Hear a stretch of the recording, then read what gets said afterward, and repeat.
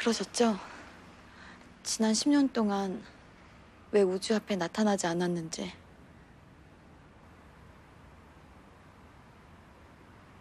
그럴 수 없는 상황이었거든요. 무슨 상황이요? 10년 동안 전 감옥